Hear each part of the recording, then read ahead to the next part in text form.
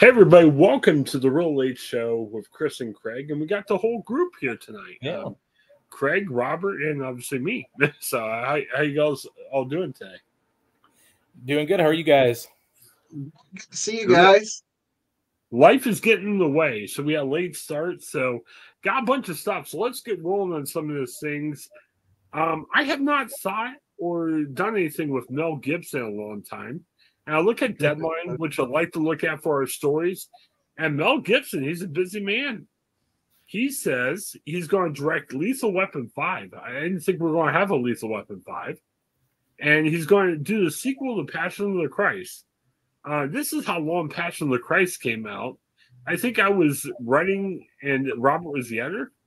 And maybe before you were the editor. Maybe you went to Yeah, yeah. It's been a while. Um, yeah, it- it's been a while. But, but um, yeah, so he's directing both. We need to talk about what these It's an old story, Chris. It's an old story. You know, it's, it's one of the original stories out there. Oh, the Passion of the Christ, yeah. I'll say it's it may happen. Um, well, and then okay, so we're and again, this is news to me. I heard rumors about Passion of the Christ, and I heard rumors about Lethal Weapon. Didn't realize that these are both on the table. So he has an interview. Um, I, I would think he's pretty easy to interview right now. We probably could have gotten him. You know what I mean? You never know. Uh, well, he has a new, yeah, he was interviewed by Comic Book. I, didn't- I didn't hear of, I haven't heard of Comic Book as a publication, so his standards are going a little bit lower now. Uh, but you know, they were like, "Hey, what are you directing first? And he's like, "I don't know. It's the funny thing. There's various obstacles. It's not just budgetary. There's like a bunch of reasons why something goes and why it doesn't. It's really a crapshoot at this point. You know what goes first and which came first, whether it's the chicken or the egg. That's kind of interesting. Never heard the story of the Bible being described as a crapshoot. It's like a crapshoot if the Bible happens or not. Um, I'm so I, I think the Passion of the Christ would be the resurrection. Mm-hmm. Yeah. Sounds like that's what the story's Okay. going to be. right. And yeah, it's not like you know, it's not like Titanic 2, right? I mean, it's, Oh, yeah, there yeah. are there are Bible stories to tell after you know the crucifixion and everything. So obviously, there's stories that can be told there, and so it's not quite like saying, oh, you know, Jack comes back in Titanic 2 or something like that. It's not the same kind of deal. Yeah. Still, you know, uh, I, I, I, would, I imagine there's an audience for that movie, I, for sure. Oh, I yeah. think that it probably would do pretty well. Um, you know, I, I don't know if Mel Gibson's the right person to be doing it. I mean, um, you know, if you ask me, like I, you know, I've I've said before, I'm I'm not a big cancel culture guy. I don't really believe in it. I don't really believe it happens a lot. I think people, uh, people like you know, um, exaggerate it quite a bit. But if there's anybody that maybe deserves to be a little bit canceled, maybe it's Mel Gibson. Yeah. Yeah, I I don't know. I mean, as a faith guy, I don't I hate saying this because a lot of my faith friends were really into the Passion of the Christ. So I feel like if I criticize it, like I'm I lost my faith card or whatever. But it, you know, I went to cover the Passion of the Christ the night it came out. I gotta tell you, it's a somber movie. I did not enjoy it, and I guess the movie's eh, supposed to show you what Jesus went through and everything, but it was not an enjoyable movie. I mean, No.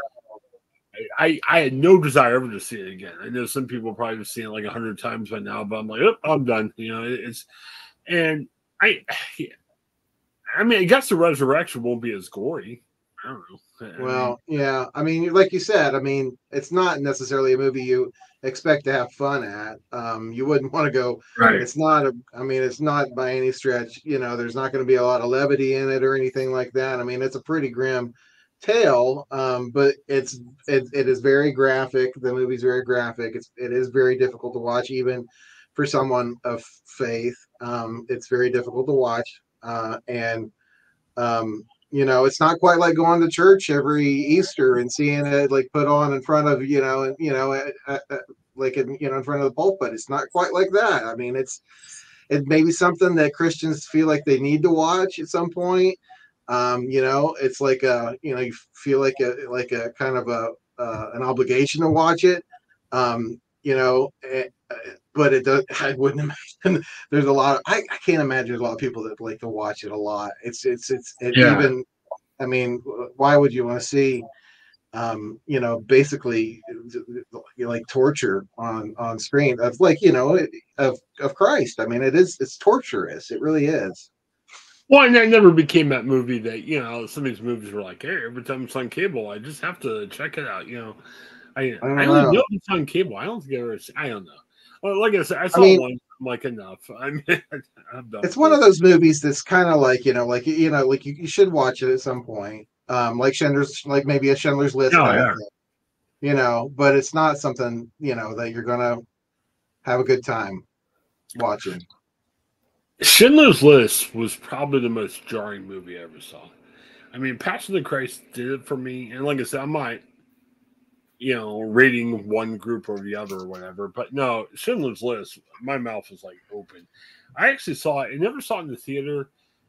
It was probably a year or two after it came out, like on TV. I think it was NBC one night. They're like, "All right, we're going to show the uncut Schindler's List, and there'll be no commercials." And, I watched that. My mouth was like, you know, I mean, it was just yeah. it was stunning. But i did see it in theaters. I was in high school and i uh, you know we uh i had a class field trip to watch it and i i like i yeah it was um stunning. Yeah, it was and um, i can't I, I like i would find it hard to believe that like uh, like classes would do that today would go to see a movie like schindler's list on a school on a school sanctioned trip you know like during the school day kind of thing but um Well, it showed how awful evil anti-Semitism is, and and not that I was questioning if it's okay or not to be anti-Semitic, but once you saw that, it really just brought to life how yeah horrible people were treated back then. So,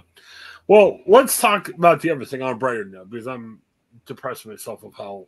That's the thing about Gibson, though, right? Is that like his his sort of anti-Semitic rants is why I got him canceled in the first place. That he's also like been kind of a, uh, you know, a mean dad, I guess. Like, but he like he's Yeah. like just been recorded just sort of being kind of a jerk. But yeah. I think the real big thing was like, and that's what it comes back to me. Like, you know, he's he's he's expressed a lot of really sort of like vile anti-Semitic sort of feelings and thoughts about things, and for him to do a, uh, you know, to continue to do movies about, you know, Jesus Christ, and um, you know, it doesn't. It- seem, it's strange. Yeah. It doesn't seem It is. appropriate. It is. But at this, at the same time, it, it it's the the old. Can you separate the art from the artist? You know, like Yeah. we talk. You know, you talk a lot uh, in the movie industry. Roman Polanski is a fine filmmaker who has been convicted of sexual crimes in America and will no longer ever come to America because of that. And he still makes movies. He still has a lot of actors that jump at the opportunity to work with him. Um, Woody Allen, you know, even more in the mainstream in, in, in recent years. You know, there's been a lot of actors and actresses that have come to his defense despite claims against him. So it, it's really that's part of it with Mel Gibson. And, you know, he took a, a you know, whether it was because of the cancel culture or or just because he couldn't get projects, you know, he was off for what 10 years from Apocalypto to then making Hacksaw Ridge, which you know the thing about Mel Gibson is, is he's a talented artist. You know, he makes fine films. He's you know Braveheart's a great film. I'm a big fan of the Passion of the Christ. Um, Yeah. I love the Passion of the Christ. It's probably one of those like one watch kind of movies, which there are very few of them. But it is like you said, you guys both I both agree that it's it's it's a hard watch, even though it, it's a, a worthwhile watch. And Hacksaw Ridge was another you know movie that you know Andrew Garfield was terrific in that movie, and it was a really sort of unique World War II story that maybe hadn't been told yet. So it's it, it's almost like you've got to find a way to can you separate an artist from the art and, and appreciate the art that's created versus understanding that there are issues with that artist that maybe they or you can never overcome based on some of the claims or some of the factual evidence out there. And, and i think that that goes for a lot of people not just mel gibson but you know certainly um, you know he's had quite a bit of time off in Hollywood, and a lot of it's his own doing, and most of it, probably all of it's his own doing. But you know, again, there's always second, third, fourth chances. It seems like for a lot of these people in Hollywood that you know maybe do something that people don't appreciate or are just absolutely hateful or you know something that you would condemn to the to the highest mountaintops but yeah. they still come back and get the funding or they still are you know considered those talented artists that you want to work with or that people want to fund projects with and you know mel gibson's kind of had that resurrection a little bit if you will no pun intended with his upcoming movies possibly but you know he's worked a lot more lately and he's now starting to get back into more, you know, obviously Hacksaw Ridge was studio filmmaking, but he's obviously got the backing of studios moving forward with like a Passion of the Christ sequel and a Lethal Weapon sequel too. Don't get me wrong. I mean, I I will probably if he makes a Lethal Weapon five, I'll probably check it out out of pure curiosity. Yeah, yeah. And I won't stop watching Mel Gibson stuff because I do. I mean, he's made some some good stuff in the past, and if it, I'm flipping through channels, whatever, and I see something like uh like Braveheart or something like that, I might I might stop and watch it. An old Lethal Weapon or something like that for sure. But I think I draw the line at um, someone who's expressed anti-Semitic views doing a movie about sure you know the king of the jews you know right like, yeah yeah i get that i think that's where i draw the line and it's like because it'd be like it'd be like uh a Holocaust denier doing a story film making a movie about World War II, you know, or it'd be like uh, you know a um, you know a, a 9/11 truther doing a doing, doing a movie about 9/11 or something. You know, it's that kind of thing. That contradiction, I think, is where I draw the line. Yeah, and, and I get weary sometimes because in religion and politics, there's movies that if you're a certain way, they kind of try to make you see. You know what I mean? Like being a pastor's kid, there was a bunch of Christian movies over the while. Was like, oh, you should go see it. Bring your youth group or whatever. Uh, politics, it's the craziness that we have in politics. Like, I get all these like right wing friends, like, oh, you gotta go see Reagan if you're a right winger. I'm like, crap. I mean, yeah. if if I go to see a movie, yeah, I like historical movies, not because I'm a certain way either way. I like art because I like art don't throw art in my face if you say, "Hey, you're a Christian, so go see his, you know, Passion of the Christ or whatever," or "Hey, you're Democrat, so go see this." I want to see art because I like art, and if it's something I'm interested in, great. But if it's not, fine. I mean, you know, I I I kind of feel like some of this crap gets shoved down our throats. And that's the worst, that's the worst part of it too, um, because like you want movies to, I, I don't want to say like rudimentarily take a side, but you want movies, you want a director to have an idea and a vision and a voice for why they're making a certain movie, but you also want it to be fair in a, in a sense that if you're telling a story, like a, a prime example, I think is Oliver Stone's W, the biopic of George W. Bush. I think a lot of people went in expecting that movie to just be an absolute hit piece on George W. Bush, and it really wasn't especially for an Oliver Stone kind of movie where you expected a, a, guy like him to really take a hard stance on someone that maybe he didn't agree with their politics.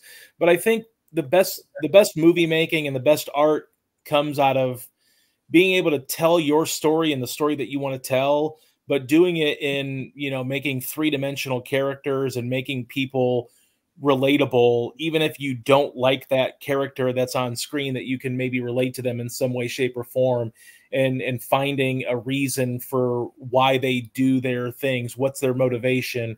And i think that's the when you're talking about movies especially you want you want movies to to be deeper than just the surface level and i think that's maybe what we were talking about with reagan over the last several weeks where it seemed like it was a you know, made for TV movie type production, not necessarily like a, you know, a three dimensional look at Reagan as a as a president or whatever, you know, however they decided to delve into that story.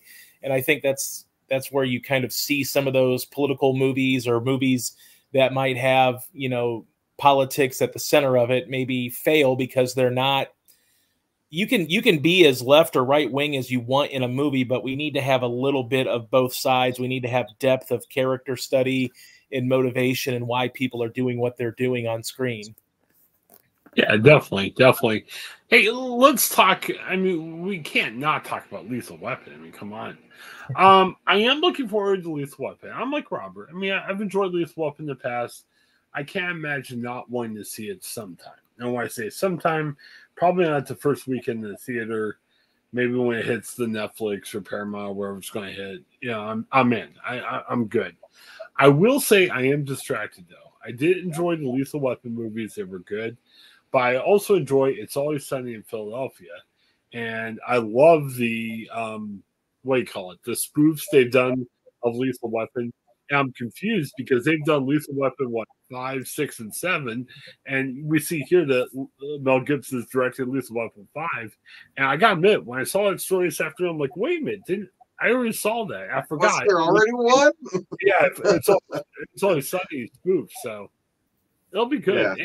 And, and maybe for as good as it might be, is it going to pale in difference to It's Always Sunny? Again, obviously, It's Always Sunny was a spoof, but those really made me laugh. Those really off the wall, crazy ones. I don't yeah. know. Maybe they can't top it. So I, I guess that's my only concern. I don't know. I had to look. I had to look just now, make sure Danny Glover's still alive, and he is. So. Oh, he is. Okay. that's good. I mean, um, I'm assuming Danny Glover's coming back you have to have Danny Glover in it, right? I mean, he I like he has to show up at some point. I don't know. Well, they did do it. You can't do you can't have Riggs without Murtaugh. I mean, that's, that's yeah, a, yeah. That's just iconic. It's just yeah, yeah, and don't don't do it like Indiana Jones four where you're trying to shove a guy in there. Shove it, like yeah, like have like yeah. have a uh, some like the kids of like Riggs and Mur- Murtaugh now are the new cops or something like yeah don't do something stupid like that either. Yeah bring Glover back. I don't care how old he is or if he's infirmed I mean he's got to come back in some way. We need the old uh, yeah I think it's always saying did the Top Gun but I think that was shoved into a Lethal Weapon for some reason. Wasn't that? Or, or, or am I getting confusing myself there was always it's always sunny where they're kind of making fun of the classic volleyball scene from Top Gun. Mm-hmm. Yeah. Sorry, sorry, I'm throwing it's always sunny in there, but I, I like the show, so I have to kind of fire it in there. So that'll be good. Uh, sorry, are you watching Lethal Weapon? Uh, Craig, you should like the Lethal Weapon guy. I mean, you, you know, I, I, I think what I watch, I'm not gonna like seek this out necessarily because I'm not. I'm kind of like beaten over the head with sequels at this point, you know, and I'd rather see something that I've never seen before. But that doesn't mean that a sequel can't be fun or can't be, you know, inventive. I'm, you know, there's some interest in this. I mean, obviously Gibson directing, but I did see that, and and obviously things can change because it's still in the development stage. But uh, Shane Black is uh, going to write, be a, as a co-writer on the screenplay, and uh, he's done some interesting things. Iron Man three, Kiss Kiss Bang Bang um, the nice guys. So you know, I mean, tonally, it could be some. It could have some intrigue with Shane Black coming into the to the fold writing this screenplay. So you know, I'll hold out hope. Okay. You could argue. You could argue that some of those movies are basically Lethal Weapon Five. Yeah. So yeah, yeah.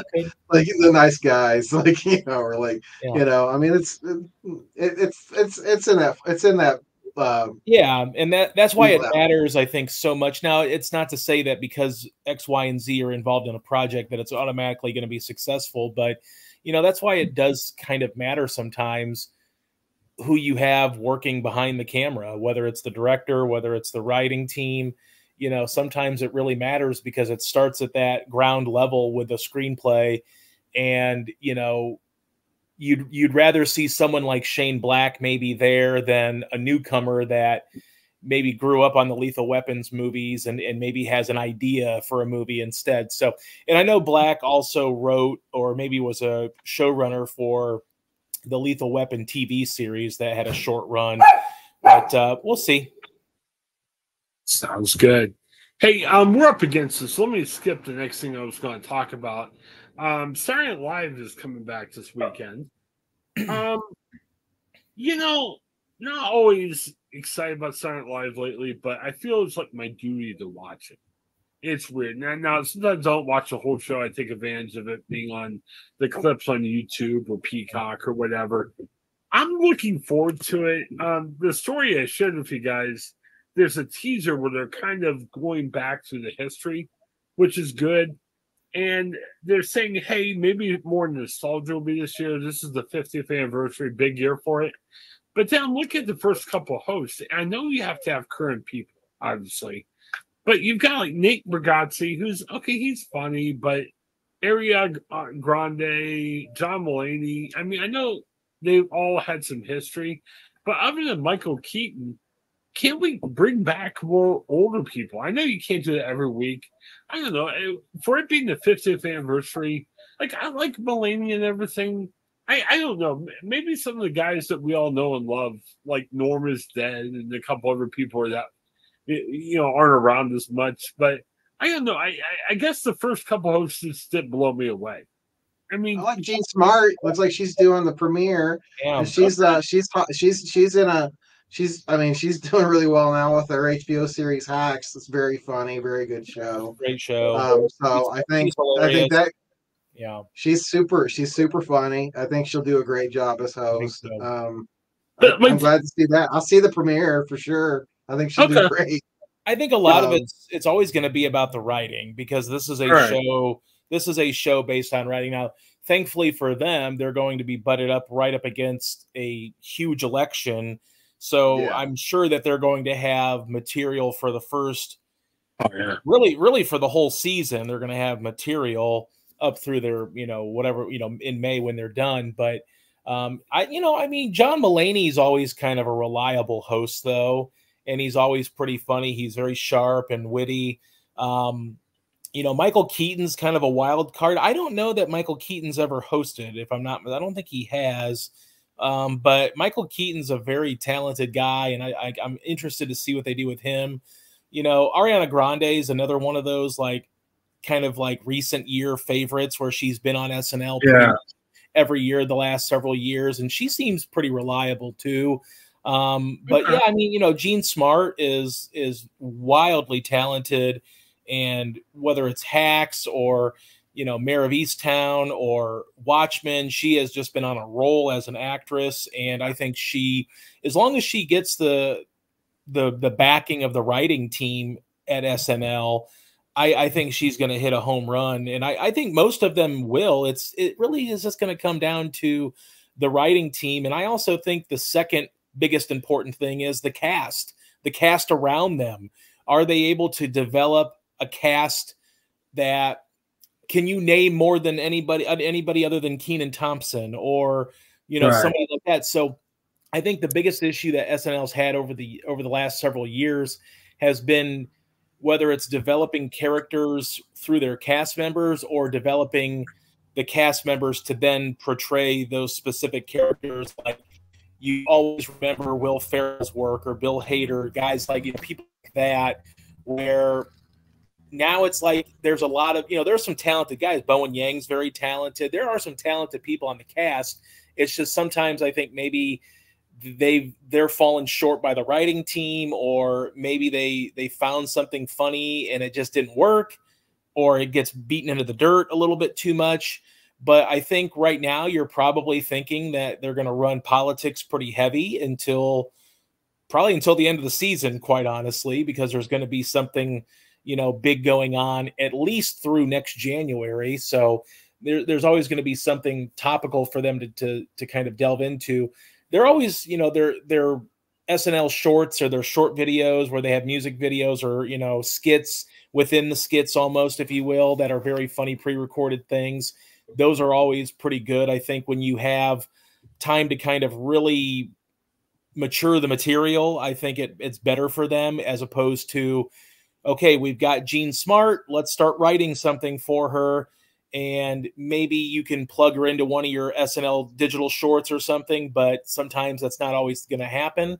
But, you know, there's a lot of hope, but you wonder, I'm, I'm assuming there's going to be a lot of former cast members that are sprinkled – you know, throughout the year, I would guess. So Will Ferrell, a Jimmy Fallon, somebody they're going to bring in as many heavy hitters as they can. This is the 50th season, and I, I, I don't think they want it to go unnoticed.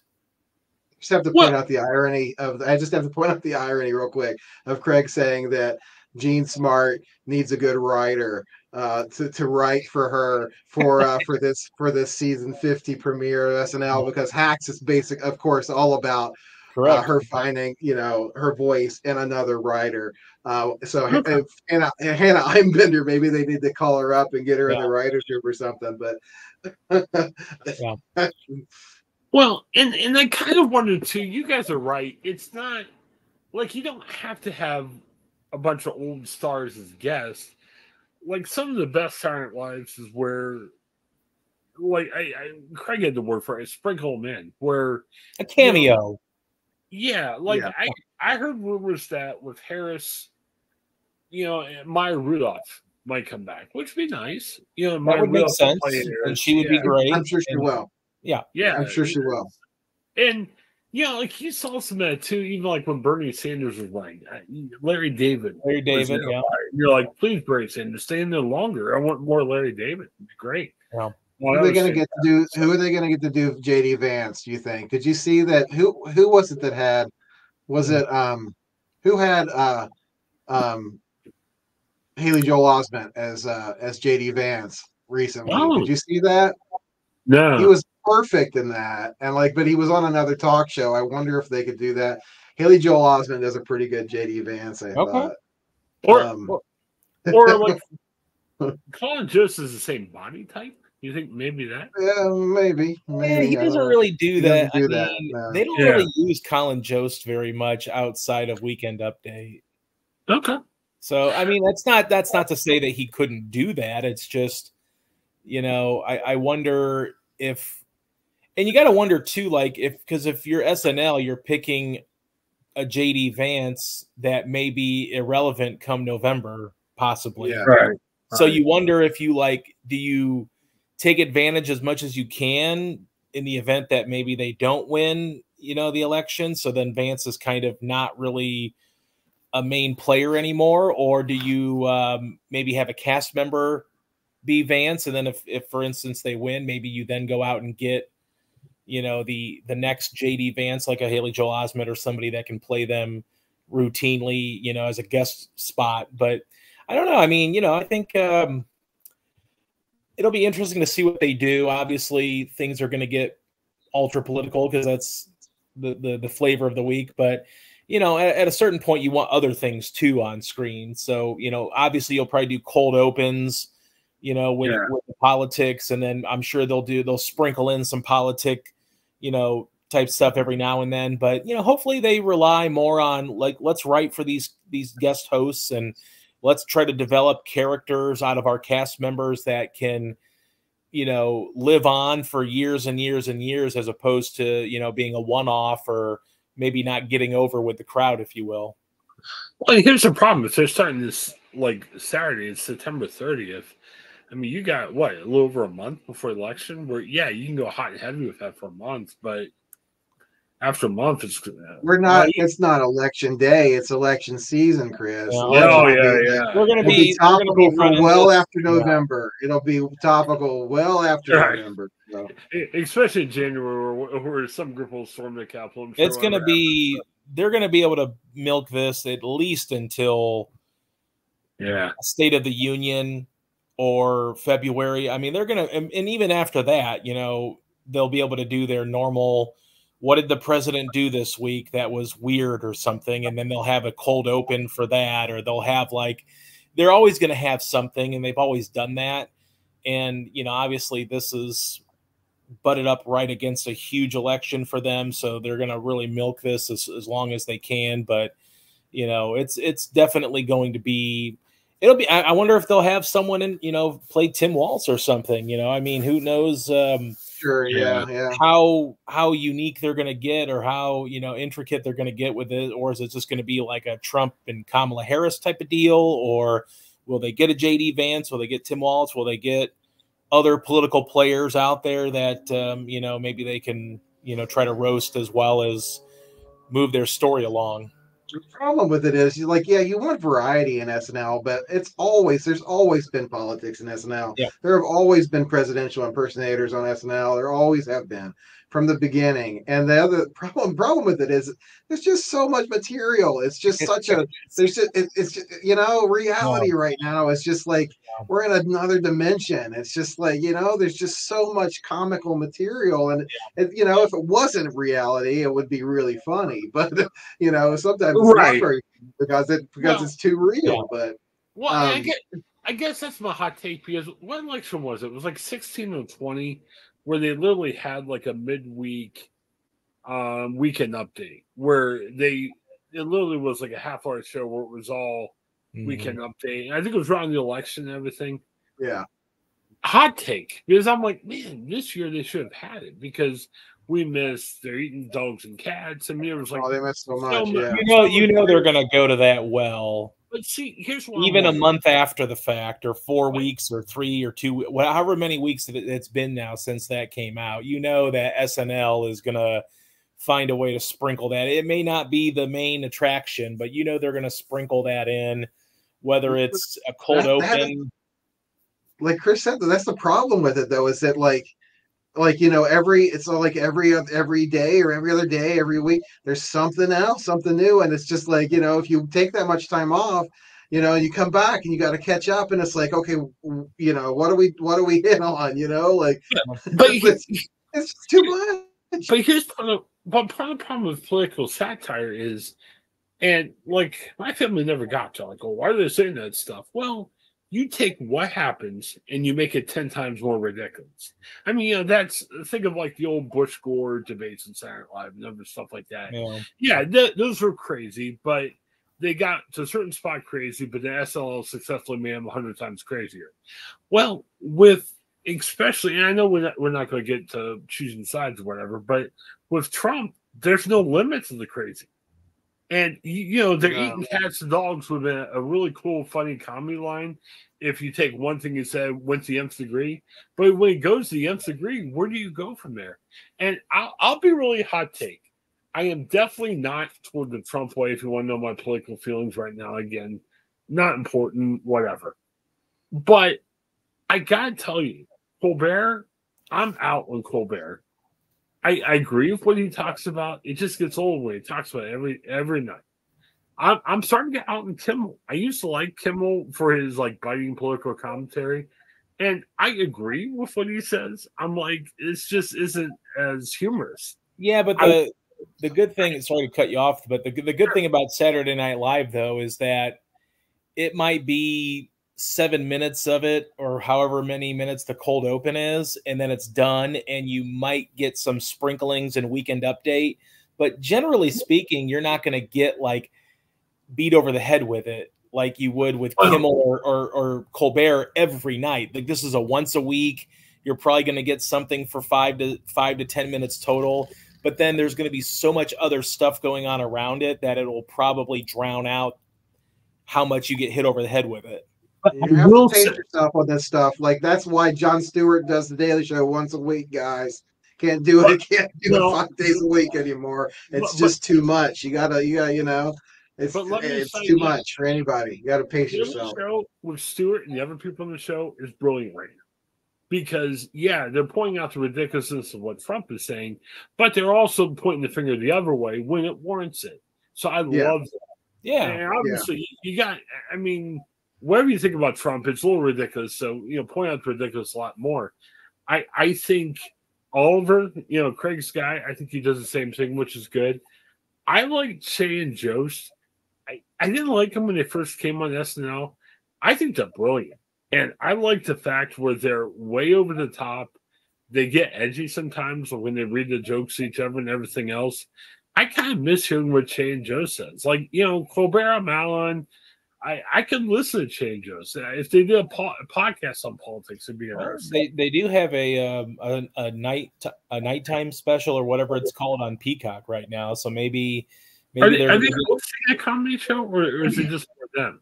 I, I don't know if it's I, I think it might just be comedy specials maybe every once in a while or something but you know maybe that's um and I haven't seen it yet, so I'm not sure if it's kind of in the vein of Weekend Update or if it's like stand-up comedians doing their thing or whatever. But you know, maybe that's the uh, the way to get more Che and Jost, I guess. Yeah, I don't know. Sounds good. Hey, so um, we've talked about this before, but that Saturday Night Live movie, it's just called Saturday Night. Oh yeah, when's that coming out soon? It's coming out soon. I think it's coming out.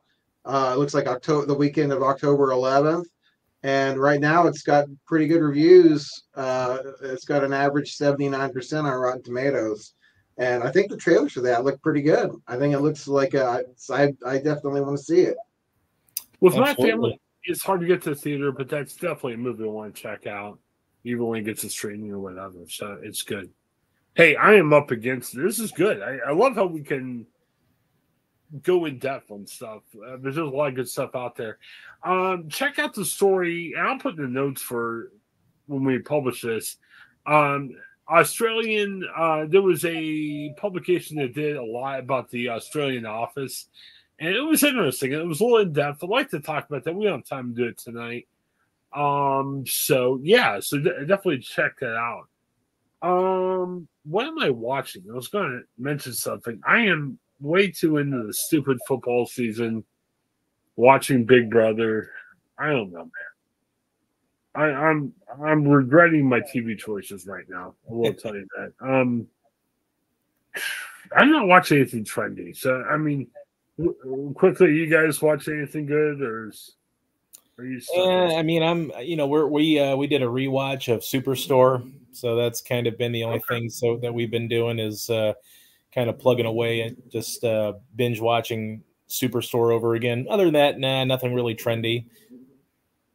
I got a big list of things I want to get into, and I haven't had a really chance to do it yet. But um, there's definitely there's some stuff out there I need to catch up on um, the new season of Rings of Power on Amazon Prime, which I'm really okay. into that. So I think it's just masterfully. I mean, they spent spent like a billion dollars on an episode on that or something. I mean, that, that's an exaggeration, but not by much. But you can certainly see it in the production values. It's just a beautiful looking show. So I want to okay. check that out. And um, you know, we're um, we're into season four now. Is it season four of Only Murders in the Building? Um, I don't know, Chris, if you tried to catch up on that yet, but just a fantastic show. Um, I want to watch, um, you know, uh, the new Marvel show on Disney Plus, the the WandaVision spinoff, Agatha all, all along. Um, seems like a good one to watch around Halloween, sort of witch centric. Um, so lots of stuff on my list, but I just it, right now we're watching Suits. Uh, okay. like pretty deep into like watching Suits on Netflix, and um, I've been watching The Shield on uh, Hulu. Wow. Okay. Very cool. All right. Well, hey, thanks, guys. As always, I appreciate it. Check out the other stuff we put out. We've got a diverse uh, bunch of stuff uh, coming out. Um, had some Cedar Point content uh, the other day, which is good. Um, Mike Brown, a former boss of mine when I was a Sports writer Writers Alliance review, um, he's coming on. He's going to um, he's fired up about the Browns, so we're doing some Browns discussion each week with him. Uh, lots of good stuff. So check us out each day. Share us with your friends. Um, give us stars. I mean, I I, I, never really ask for reviews, but you give us uh, a good review or even a review at all, it gets in the hands of more people. So for Robert and Craig, this is Chris. Thanks for checking us out. Have a great day, everybody. See you guys.